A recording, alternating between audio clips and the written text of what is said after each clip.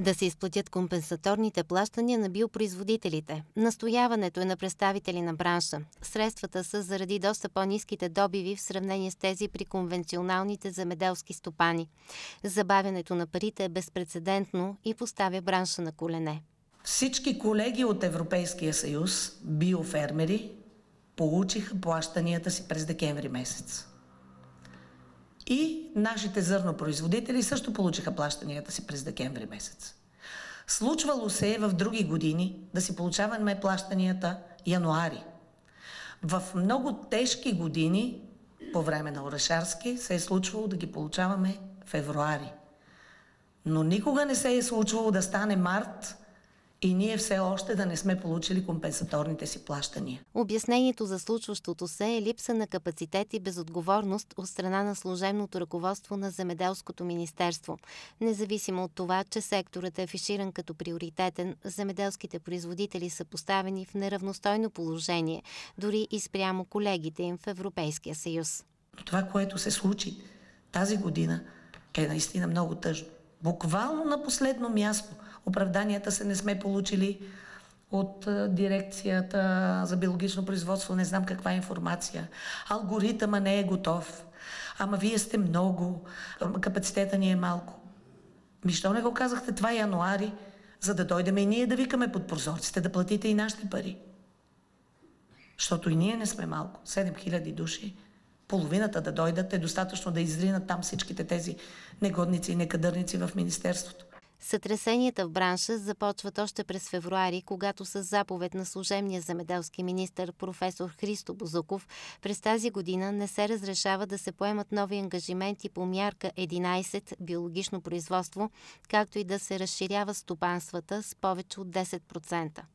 За трета поредна година го изживяваме. Ако е за една, да сме спокойни, да кажем, ма те се учат на наш гръб. Добре, 2015 се учиха на нас гръб, 2016 също. И какво става с 2017? Биопроизводителите нямат отговори, но се надяват бъдещото ръководство на Земеделското министерство и Държавен фонд Земеделие да намерят решение на сериозните за бранша проблеми. До сега не е имало така едно сериозно компетентно правителство, което да застане твърдо и ясно на позиции, на позиции и да каже какво правиме в нашата страна. Аз определено считам, че ние трябва да направим един анализ на прехода и трябва да имаме яснота какво правим по-нататък. Друг проблем за бранша е и кампанията по директните плащания, която буксува, по думите на браншовиците.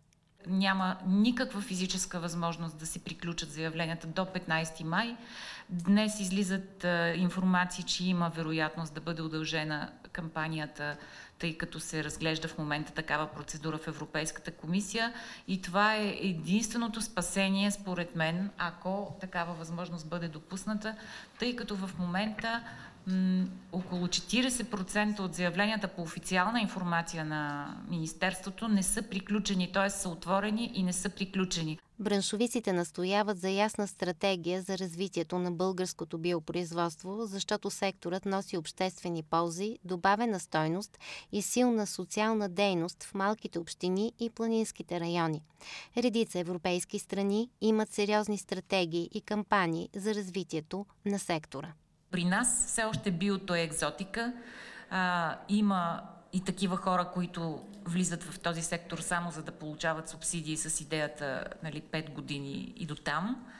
А, създава се едно такова напрежение, включително между потребители и производители. Държавата някъде се е скрила и казва ми, той има там субсидии, те са достатъчни и нищо повече не прави по въпроса. Биопроизводителите са готови да предприемат действия и на европейско ниво – Българската асоциация биопродукти е член на Международната федерация на биоземеделските движения. В организацията членуват повече от 150 асоциации.